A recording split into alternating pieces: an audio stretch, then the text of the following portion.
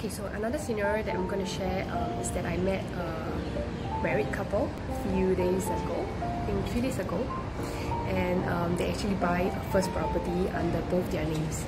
So now they actually have plans to buy a second property, but then their concern was how about the ABSD? So um, I actually shared with them these two tips, and um, they were very grateful uh, that if they haven't they would have already paid this 12% additional buyer's stamp duty to the government. So, um, because of this, um, they successfully purchased their second property um, and without paying uh, ABSD. So, so these two things that I have shared with the buyer could even be done um, when you before you even purchase your first property.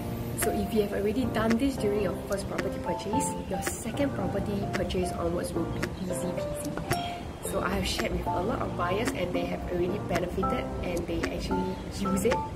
Um, I hope uh, if you have the same issue, you can use these two things to actually settle your purchases. Who doesn't want a second property? Drop me a PM and I will share with you these two things immediately.